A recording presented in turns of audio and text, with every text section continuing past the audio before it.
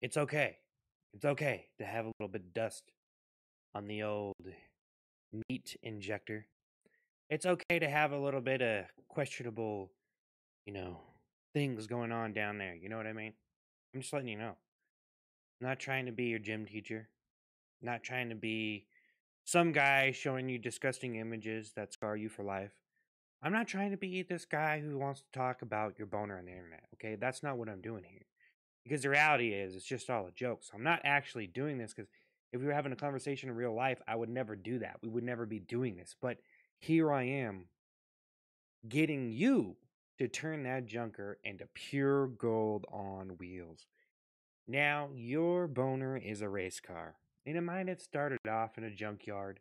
You know what I mean? You were born in a trailer or something. You were born in a gutter.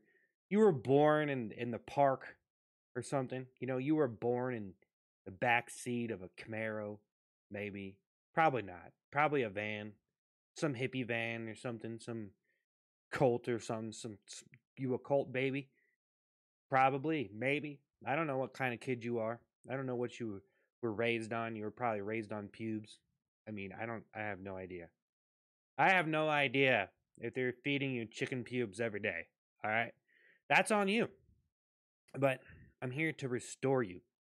You know, just like they do on all those shows that kind of became very overwhelmingly repetitive. You know, just like everything else. And then you look at me and you're like, oh, that's why he's doing what he's doing. Because everything is just the same thing. And I'm over here with a new style, a new way of thinking. And a lot of people can't touch it. They can't grab it. They can't mimic it. They can't copy it. They try to rip it off. They try to do this and that. And I'm just original, you know?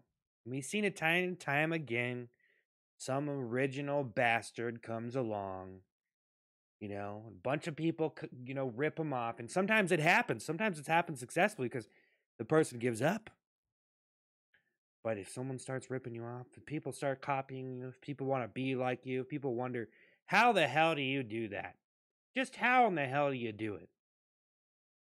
Then you're probably going to be someone like me, you know, teaching people how to turn their little junker into a pure gold specimen only their eyes can enjoy. Well, anyone can enjoy. Everyone can enjoy because basically your cock is going to get a new engine. We're going to change the oil. We're going to get new tires. We're going to we're going to do everything we need. Axles, bearings, you know, frame. Okay, let's just get you a new just just get you a new dick. Dick implant. But now let's go. Press that accelerator. You feel it? It used to be some little rusty, junky wagon no one cared about. We took it out of the junkyard and it's demolition derby time. Actually, most of the relationships I see are kind of like that, you know what I mean?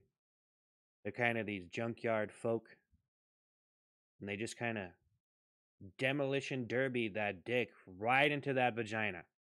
You know? Most damage wins. Bruise those pussy cheeks. Give him a black eye.